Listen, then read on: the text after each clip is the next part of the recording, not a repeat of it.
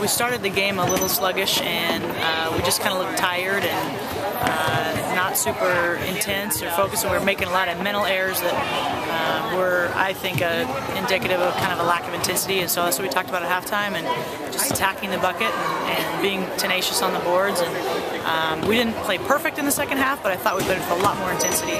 And uh, you know, I thought Gena Johnson attacking the basket was great. She had 15 second half points. Um, she attacked the basket one time in the first half. And, and was just great in the second half. Um, Erica McKenzie, I thought, saved us a couple times just with kind of court smarts and, and um, being being there, and Kendall Rodriguez with another double double. So, uh, you know, all in all, good team win. Our bench outscored their bench, and that's what we were hoping for. And um, you know, we'll take it. Eastern's a good team.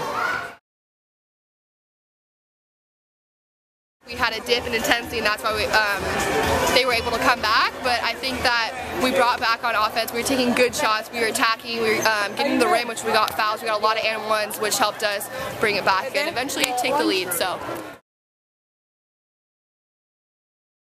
I was a little frustrated, as you can see. Um, I couldn't score in the first half, and then I had to just let everything go. And like, uh, credit to my teammates pumping me up and uh, helping me. Especially, I had to talk with Coach Rob right before the game started and just attack the hoop and. Um